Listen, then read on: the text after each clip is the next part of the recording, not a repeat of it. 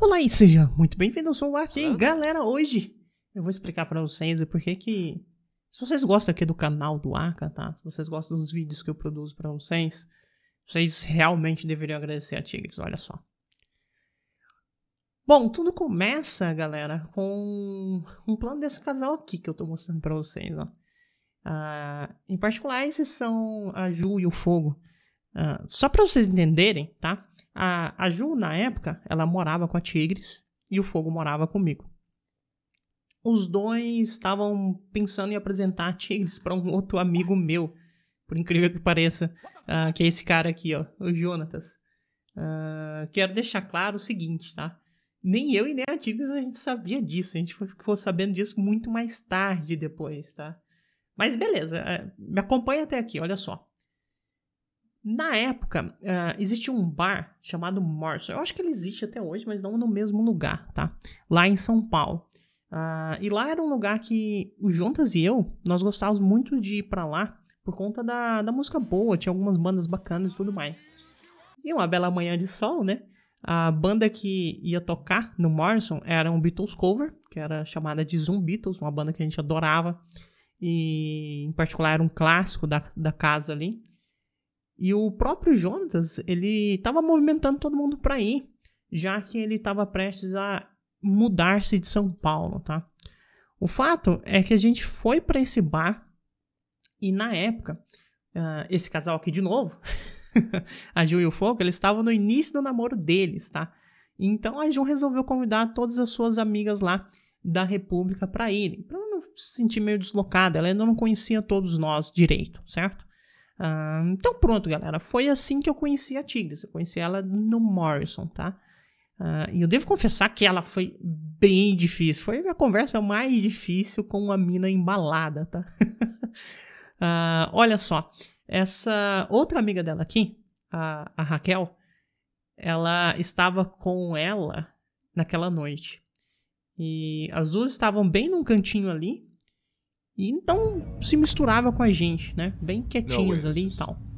Então, obviamente, foi o carudão aqui conversar com elas, né?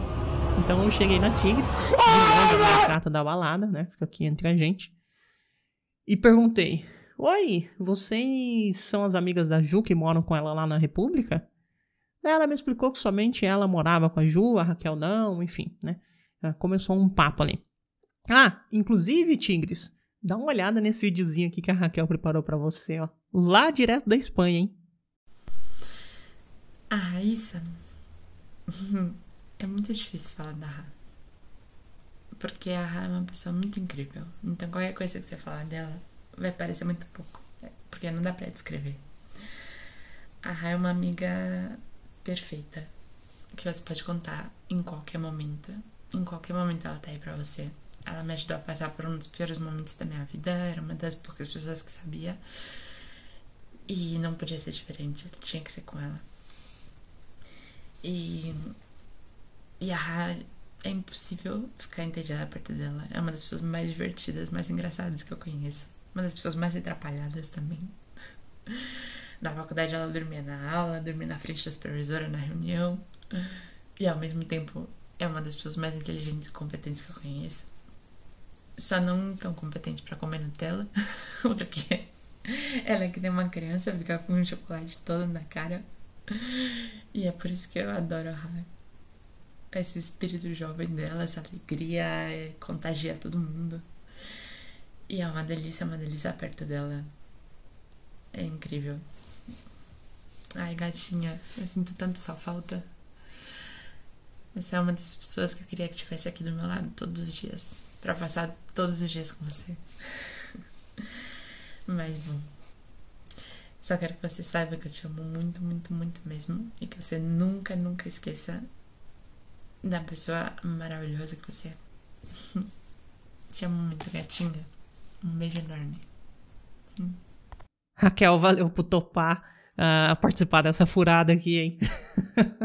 e olha, você tem razão. A Tigres comendo Nutella não costuma dar muito certo. Olha só, galera.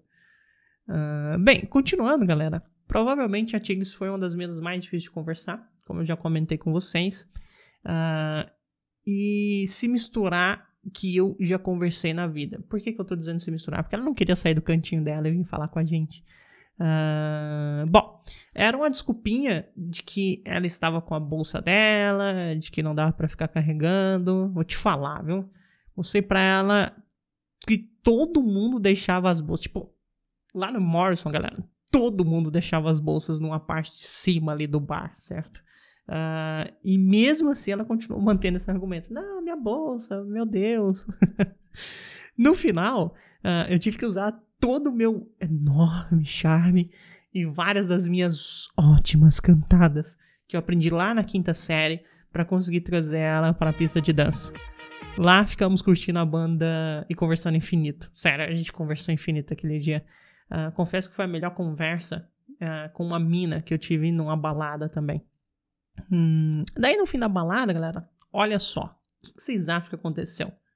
Obviamente, não rolou nada, tá? Eita vida difícil, viu? Meu Deus do céu. Mas beleza. É, ficamos falando ali por muito tempo ainda no celular na época. E eventualmente acabamos namorando, né? Numa outra oportunidade deu certo. E eventualmente a gente acabou namorando ali. Uh, na verdade, esse início do nosso namoro foi bem intenso. Uh, nós nos víamos praticamente todos os dias e era muito gostoso passar tempo junto com ela, de verdade. Uh, mesmo quando eu estava jogando, fazendo trabalho na faculdade, a gente ainda meio que estava junto, sabe? Olha só, só para vocês entenderem o que, que acontecia quando eu estava fazendo alguma coisa nesse sentido. No final, acabou que o plano desse casal aqui, não deu muito certo. Assim, pelo menos não foi exatamente o que eles planejaram. Ah, e, e falando da Ju, Tigres, ela também preparou um videozinho para você, olha só. Eu conheço essa mulher tem 11 anos. 11. E aí eu acho que eu posso dizer que nesses 11 anos eu vi muita coisa se transformar na vida dela. E eu vi essa mulher, que eu conheci já muito mulher, se transformar numa mulher incrível, né? Ela já era incrível, mas com o passar do tempo foi ficando cada vez mais. Essa mulher é demais, ela é sensacional, ela é um amor de pessoa e é uma referência para um monte de coisa que eu, que eu estudo. Raíssa, você é maravilhosa. Eu te amo muito, minha amiga. Medo dessas referências aí, hein, Ju? Valeu demais, hein? Tamo junto. Ó, vou ir resumindo os acontecidos até aqui em diante, galera, porque senão o vídeo ficaria aqui de uns 50 dias, pelo menos, tá? Uh, o fato é que nós começamos a namorar. Ela me apresentou para os amigos dela. Fomos morar junto e tcharam! Veio esse moleque aqui. E a gente, pra quem não sabe, tá?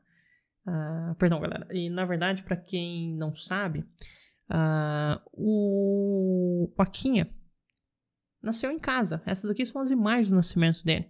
Foi uma loucura só, porque não foi uma coisa exatamente planejada. Uh, enfim, eu posso entrar nesse, nesse assunto em, em, algum momento depois. Mas o fato é que ele nasceu dentro de um apartamento de 48 metros quadrados, galera. Uh, e falando no Aquinha, obviamente o Aquinha também preparou um vídeo pra mamãe, né? Olha só, Tigres. Oi, mamãe. Eu te amo muito. Você me criou e criou meu coração. Então estou te dando meu coração. Eu te amo tanto que não dá nem para falar. Hum, e você é minha melhor mãe. Tchau. Valeu demais, Baixote. Uh, valeu por ter topado fazer esse vídeo com o papai. E valeu por fazer muitas caras e bocas diferentes nas fotos. Cara, te amo, tá? Uh, e aí, galera, tudo completou. Vieram a família nos visitar, uh, conheceu o Aquinha, daí vieram os amigos, e tudo foi bem gostoso, de verdade. Foi muito cansativo em vários momentos, mas é muito gostoso uh, vivenciar isso, tá? E falando em amigos visitando, não poderia faltar uma surpresa de uma certa pessoa, né? Uh, sabe quem também te preparou uma surpresa, Tigres? Obviamente, a Mari, tá? Então, antes de rodar, para contextualizar todo mundo aqui que está assistindo o vídeo, a Mari é uma das melhores amigas da Tigres. Inclusive, é, nós fomos padrinhos de casamento dela. Tá? Uh, essa história eu conto em outra oportunidade, enfim, conto para vocês o que, que rolou exatamente. Fala aí, Mari. Oi, amiga, tudo bem? Espero que você esteja muito feliz com essa surpresa. Eu vim aqui falar um pouquinho do quão importante e especial você é para mim. Bom, a gente se conhece já tem mais de 10 anos. E ao longo desse tempo, eu tive a oportunidade e o privilégio de acompanhar de perto essa mulher maravilhosa, incrível, dedicada, estudiosa, carinhosa e amiga fenomenal que você é. Eu só tenho a agradecer e eu só posso dizer o quão orgulhosa eu sou de ter você na minha vida, de ter uma pessoa como você é comigo em tantos momentos importantes. Mesmo a quilômetros de distância de mim hoje, já estando vivendo na mesma casa, já tendo dividido uma beliche. Independente desses fatores, é, eu fico muito feliz por você continuar na minha vida. Eu te amo demais. Continue assim. Mari, valeu demais pelo vídeo, viu? E por não deixar passar esse mico aqui sozinha. Tamo junto, tá? Uh, continuando, galera nem sempre foi fácil, né? É, é bom dizer isso. A Tigres e, e, eu, nós tivemos uma evolução muito grande como pessoa e como pais, né? E num período muito rápido, num período muito curto, de forma muito rápida, de forma repentina com a Quinha.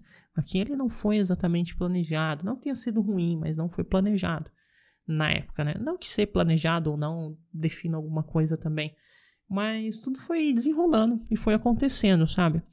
Ah, e lembra que eu falei que a gente tinha que agradecer ela pelo canal? Bom, uh, aqui vai o primeiro enorme motivo, galera, tá? Gravem essas coisas aí. Nessa época, obviamente, meu tempo era bem curto e geralmente eu estava assim. Ou assim.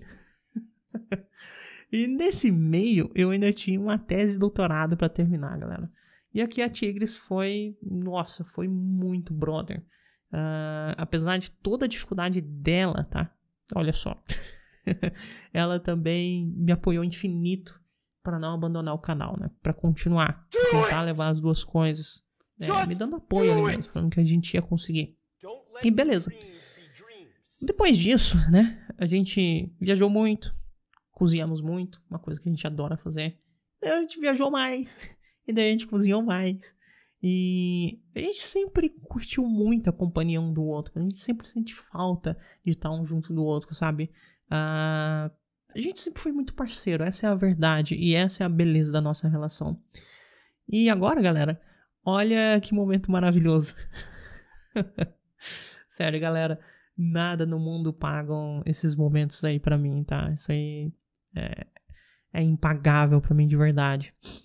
Bom, depois do meu doutorado, nós viemos para Jataí, onde, que é a cidade que nós moramos atualmente, tá? E aqui nós tivemos a incrível oportunidade de conhecer duas grandes pessoas. A tia Nath e o tio Fred, né? Uh, dois super amigos que estão com a gente para o que deve é. Uh, só para vocês terem uma noção da intensidade da amizade entre a gente, olha só o vídeo que a Nath preparou para Tigres. Linda do jeito que é da cabeça ao pé, do jeitinho que for. Amiga, é, eu te amo. Saiba que você mora no meu coração. E eu vou ler o que eu escrevi para te dizer, porque senão eu fico nervosa e não consigo falar. Você é uma mulher incrível em todos os sentidos e em todos os papéis. O mais gostoso na nossa amizade é que eu posso ser eu mesma. Você é um porto seguro para mim, e eu acho muito gostoso poder dizer que eu me sinto parte da sua família. É, saiba que você tem um pedaço do meu coração e que com certeza vai ter um pedaço do coração do Caduzinho. é, é isso. Eu te amo infinito e além. Eu te desejo sempre, para sempre, melhor. Adorei a cantaria, Nath. Tamo junto, tá? Valeu demais, valeu por me dar suporte aqui nesse vídeo, tá? Uh, e aqui, galera, vem outro enorme motivo que precisamos infinitamente de novo agradecer a Tigres, tá?